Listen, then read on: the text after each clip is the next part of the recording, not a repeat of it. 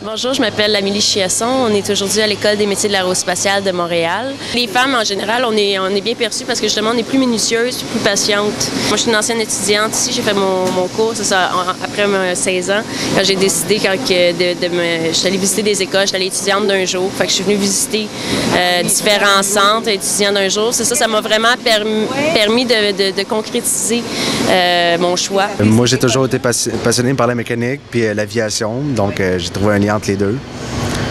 C'est ici que c'était le plus parfait pour. Euh... Moi aussi, j'ai toujours été passionné par l'aviation. Puis, euh, puis la mécanique, c'est un bon défi là, à la place de euh, mécanique automobile.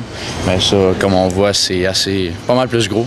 Donc un bon petit défi là, pour, euh, pour moi. J'aime ça les challenges. Honnêtement, ici, c'est une bonne école. C'est une des écoles, euh, parce d'habitude, mettons le secondaire, c'est sûr, c'est pas toujours le fun. Moi, en décidant de venir ici, j'ai été motivé. Euh, puis mes, mes, notes ont monté dès que j'ai décidé de venir ici. Bien, nous autres, on avait peut-être euh, pensé euh, s'engager dans l'armée, mais pour faire des mécaniciens d'avion dans l'armée. En usinage, la manière qu'on fonctionne, c'est qu'on suit euh, une liste d'opérations ou bien une, une, gamme d'usinage. à l'ASP, on fournit les programmes. Au DEP, ils vont faire les programmes. Puis, ils suivent le dessin. On leur fournit le dessin, le programme qui est ici. Puis euh, après ça, ils vont fabriquer une pièce. L'usinage, moi, je compare ça souvent à l'ébénisterie. Fait que c'est, euh, on fabrique des pièces, on parle de, de, matériaux bruts, nous, qui sont des métaux. Fait que c'est sûr qu'on a des machines qui sont plus euh, rigides pour pouvoir soutenir, supporter euh, les travaux dans ces métaux-là. La pièce originale est en aluminium, mais on va la faire aussi en stainless pour euh, question d'augmenter les difficultés parce que le stainless s'usine pas pareil. Les outils réagissent différents, fait que c'est là qu'il faut ajuster la machine en conséquence.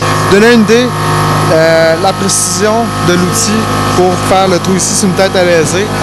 On, on, joue les mesures à peu près de, on appelle un 10, c'est un 10 millième de pouce. Un cheveu, c'est à peu près 2 millièmes, 3 millièmes, mais divisé là en 30, c'est qu'est-ce qu'on mesure facilement en plus. Ça se fait bien. Je travaille la nuit puis je viens aux études euh, ici le jour. Là. Euh, ça pourrait aller me chercher un diplôme euh, parce que là, j'ai juste un secondaire 5, j'ai mes, mes, mes, mathématiques fortes, ces choses-là. Mais là, après euh, une dizaine d'années sur le marché du travail, il me fallait un, je voulais un diplôme supplémentaire pour avoir des opportunités d'avancement, puis euh, d'autres opportunités de carrière, des expériences différentes. Mon grand-père le fait déjà le métier, il m'a déjà introduit quand j'étais plus jeune. J'ai choisi les techniques d'usinage parce que ça, bon, ça m'intéressait beaucoup et que le manuel, c'est j'aimais ça vraiment. Très bonne impression du métier, c'est... Ouais.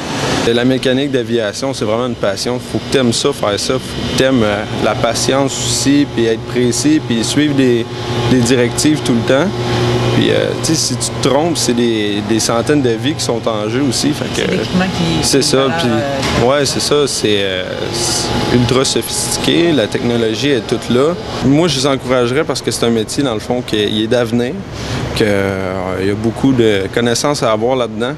Puis euh, dans le fond, c'est une passion aussi. Puis euh, on peut développer cette passion-là comme moi je l'ai développée en travaillant sur des avions ou quoi que ce soit. c'est un très beau métier.